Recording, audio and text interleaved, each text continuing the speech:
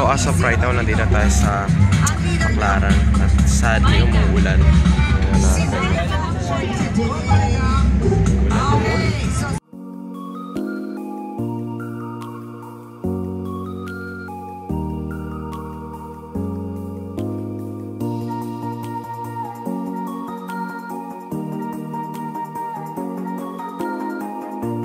Actually, hindi ko inaasahan umuulan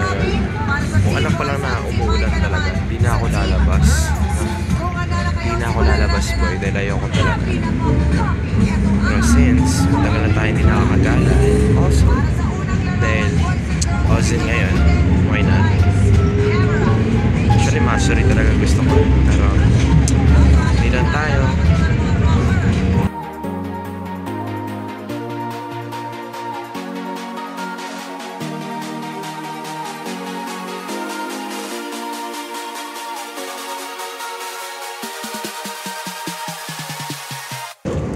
Available station. Mag-ingat sa number.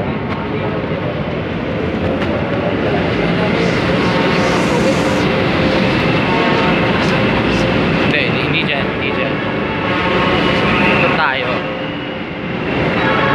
So yeah, malapit na tayo sa Ozin and dito na lang dito sa part na to ng Maynila is hindi na umuulan and so uh, tayo. Pwede mo na dito lang tayo dumaan eh. Pwede ba dyan dumaan? Pwede na dyan dumaan kaso may tao. Kaya dito na lang. Ito na yan ang tapping system. Oh.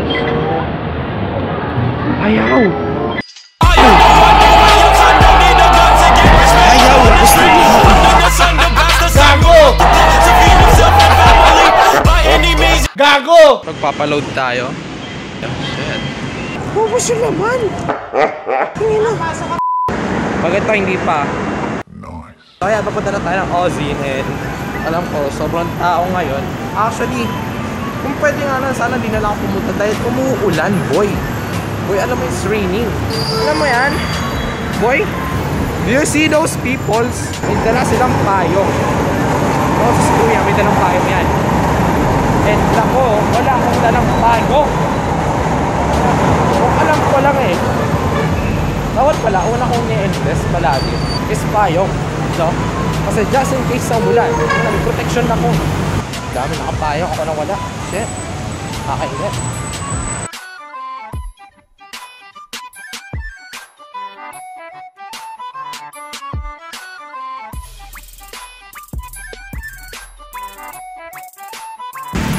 So yun nga, tayo parang Casey Neistat eh, no? Wala ka lang boosted board. Pero, pwede lang tayo maging Casey Neistat ng Pilipinas. No? Ganyan tayo dito. Ganyan, ganyan tayo kalupit. Wala mahulog yung cellphone ko. Nahulog yung cellphone ko. Wala na akong cellphone. Diba?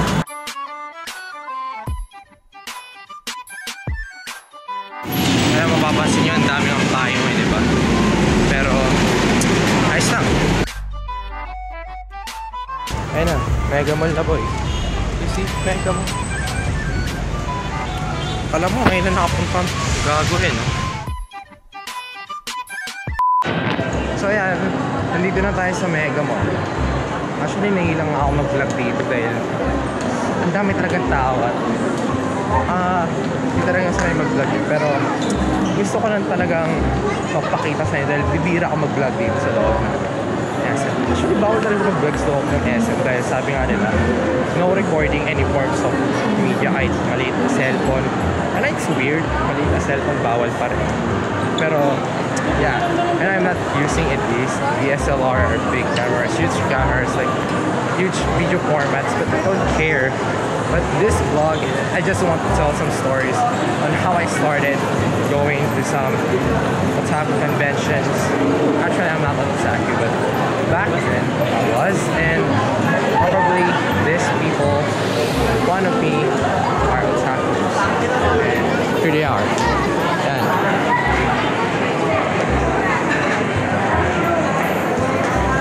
Bag pa lang eh. Bag pa lang halatang halata na. So, I'm so sorry kung medyo malabo yung focus ha. Dahil minsan napipindot ko kasi yung screen. Kaya ayan, kung saan sana nagpo-focus. So, yan nga, yan, escalator etiquette. Alam naman natin, buti pa yung cosplayer ginagawa nyo. Yan, this is it. Nandito na tayo sa taas.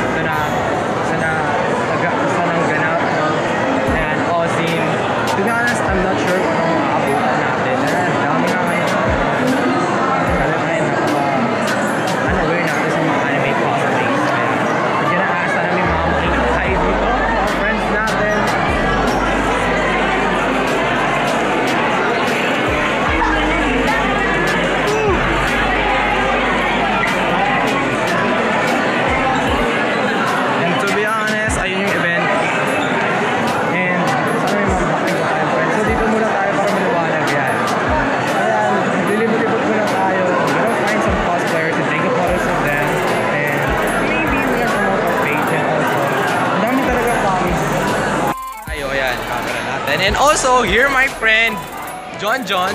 What's up? What's up? Yan. Ano cosplay mo ngayon? Ano cosplay mo ngayon, boy? Uh, Arbor, Tokyo Ghoul. Ayan, Tokyo Ghoul. Ayan. It's been a years. It's been years, di ba? Ayan. Ngayon nga lang pinakita yung mukha niya talaga ngayon. Sino mga kasama mo, pre? New group. New group. Ayan.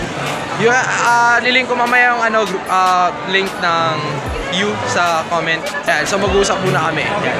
So ayan, si Ate Kanay. Siya yung pangatlo kong picturean ngayon and we'll try to So ayan, nandito ako ngayon and it's a surprise! Hello. Oh, Ayan. okay. Glory to mankind. Yeah. And also may kasama sila. Dalawa sila! Oh my goodness! Wow, yung ano yung big. Dalawa sila!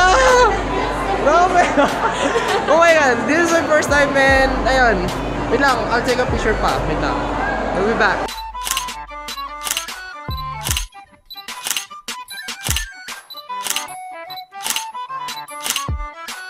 Kapag-picture nga kami kay Boruto and now, punta kami sa kainan. And hindi ako kain syempre makikita. Yun nga lang tayo. And ayan. Hirap, ang hirap ng ganitong buhay, to be honest. Pero as a photographer, you know, it's, it's like making socialize, you know, socialize people. Socialize with some people, ayan. Sa Taloja. Oh my god, it's a League of Legends, it's Saya and Rakan! It's a surprising time, ayan. Saya and Rakan from League of Legends, and maraming you soon. Yan, Saya and Rakan is amazing time? It's, it's an amazing time to be honest. Saya, pwede pa naman tayo kasi dumaan tayo sa food, diba? Ganyan kapag photoshoot. Uh, it's like, bigyan nyo lang sila ng, bigyan nyo lang sila ng respect dahil minsan, you know, kasi uh, like form of etiquette. Dapat nire-respeto natin yung iba, no? And as of now, nawawala yung mga kasama natin. They're nowhere to be found. Sabi nila kakain sila and I don't know. There's, I've heard like Jollibee a while ago, pero Jabi. Where's Jabi? At saka syempre, sa hindi pinaka-naasahang panahon, syempre,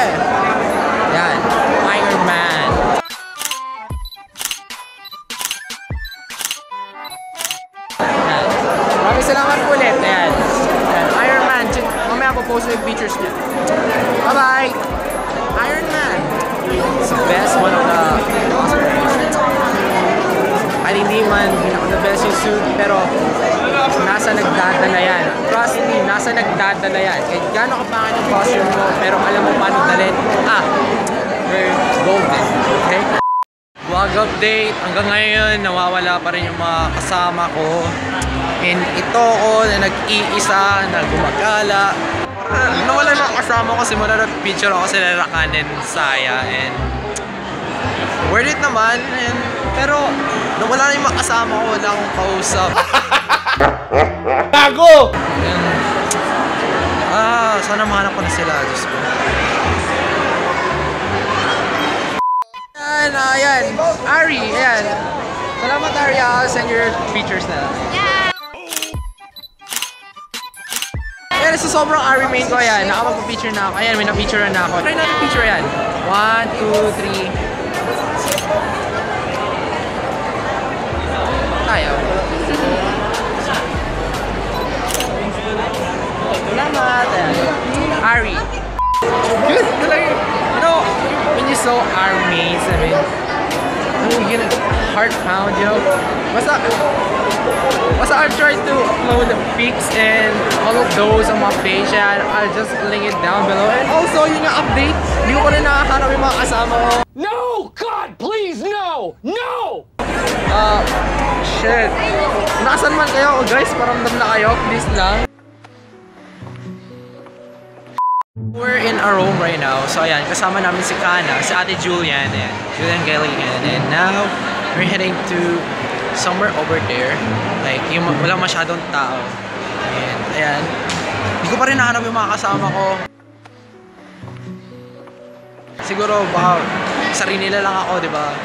Kasi, alam mo naman, forever alone. No! God! Yun ang naging forever alone, no? Yan. Makasama natin. Ayan, sila sir. Tapos na yung, ayan. So, ayan, natapos na yung shoot namin ni Ate Julian.